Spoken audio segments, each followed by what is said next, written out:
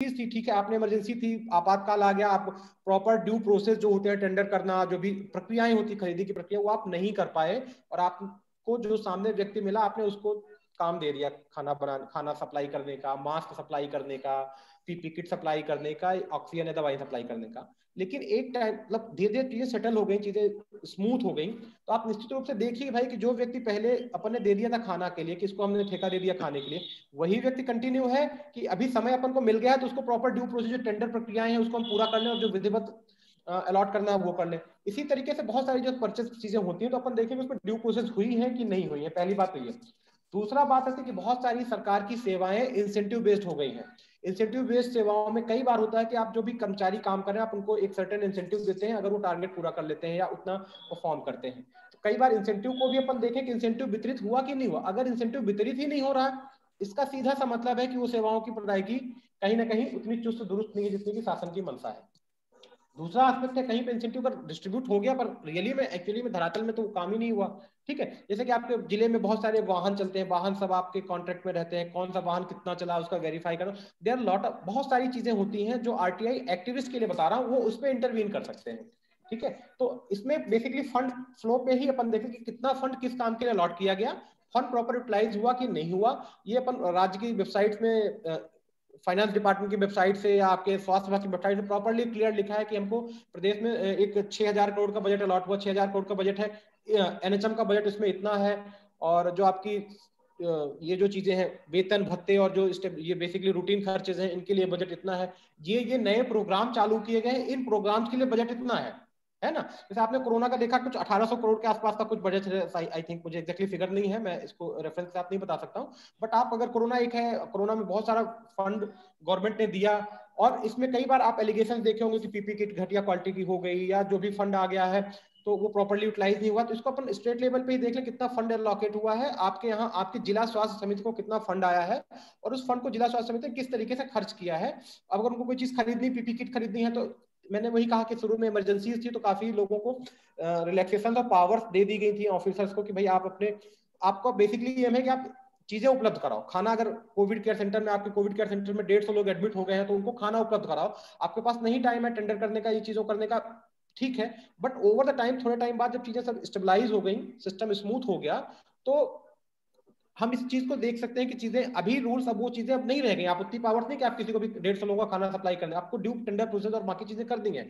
तो ये चीज़ें मुझे लगता है कि जो आरटीआई एक्टिविस्ट लोग हैं तो इस चीज़ पे बेहतर कर सकते हैं। आपके यहाँ जो क्षेत्र को फंड अलॉट हुआ है, वो प्रॉपर उसका यूटिलाइजेशन हो रहा है कि नहीं हो रहा? है जो फंड का एक्सपेंडिचर जो खर्च है, वो निर्धारित नियमों के अनुसार हो रहा है कि नहीं हो रहा है? तो हमने दो तरीके से बात की। एक तो आम जन अपने लिए क्या कर सकते हैं कि आपके यहाँ कौन सी सुविधाएँ उपलब्ध होनी चाहिए, जो प्राथमिक स्वास्थ्य सुविधाएँ हैं, जो प्रिवेंटिव सुविधाएँ हैं, वो उपलब्ध होनी चाहिए, वो आप अपने क्षेत्र में देख लें। नहीं उपलब्ध हो पा रही तो आप देख लें कि कौन जिम्मेदार है उसकी उस सुविधा को देने की ज़िम्मेदारी किसकी है उस सुविधा को मॉनिटर करने की ज़िम्मेदारी कितनी है और उस सुविधा को जारी रखने के लिए उस सुविधा को देने के लिए सरकार कितना फंड दे रही है ये मुझे लगता है गाँव वाइज जो भी एक्टिव लोग हैं वो अपना देखें आ, मतलब इसमें अपने गाँव में सुविधाएँ सुनिश्चित करें को मिले और जो आरटीआई एक्टिविस्ट है जो खोजी पत्रकार है और जो इससे कोरोना एक बड़ा इशूज है कि स्वास्थ्य में इसमें कोरोना में वास्तव में मैं बताऊँ तो मैं तो सरकारी सिस्टम में जुड़ा हुआ तो सरकार ने बहुत ही हाथ खोल के पैसे दिए हैं है ना? बहुत सारे रूल्स ऑन पावर सिलेक्ट कर दिया कि आप इस फंड को प्रॉपर यूज़ करिए। आप ऐसा नहीं हो कि आपके पास पावर्स नहीं है या ड्यू प्रोसेस बहुत लेंदी है तो लोगों को फैसिलिटीज़ नहीं मिल पा रही हैं। बट निश्चित रूप से ही कहीं हर जगह हमको सुनने में आ रहा है कि कोरोना के बजट में बहुत भ्रष्टाचार हुआ। लोगों ने अच्छी क्वालिटी की किट नहीं खरीदी। जैसे पिछली बार देवेंद्र अग्रवाल जी ने बताया किस तरीके से अनियमितताएँ हैं। तो आप अपने ज़िले में जिला स्वास्थ्य समिति को कितना फंड प्राप्त हुआ और उस फंड का किस किस तरीके से यूटिलाइज हुआ किस किस मद में कितना पैसा गया? और पैसा गया तो उसमें ड्यू प्रोसेस फॉलो की गई कि नहीं की गई, कि मुझे लगता है आरटीआई एक्टिविस्ट अपने लेवल पे इसको बहुत बेहतर तरीके से कर सकते हैं और सरकार को या स्वास्थ्य विभाग को बहुत ही ज़्यादा अकाउंटेबल कर सकते हैं। जी, धन्यवाद। बहुत बहुत धन्यवाद डॉक्टर धीरेन्द्र मिश्रा जी। हमारे संजय गांधी मेमोरियल अस्पताल रीवा से साइकी आर्टिस्ट डिपार्टमेंट के डॉक्टर साहब हैं। पिछली बार भी आप जुड़े थे, आपने बहुत ही महत्वपूर्ण जानकारी दी हुई है।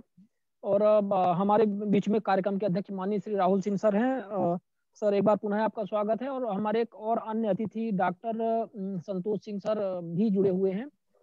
जो चाइल्ड स्पेशलिस्ट हैं, चाइल्ड डिसीज और बच्चों से संबंधित जो रोग होते हैं, उसके आप शायद हेड ऑफ़ डिपार्टमेंट भी हैं, संजय गांधी मेमोरियल अस्पताल के। तो अभी मैं माननीय अध्यक्ष महोदय जी को इनवाइट करूँगा कि वो आगे के लिए कृपया मार्गदर्शन दें।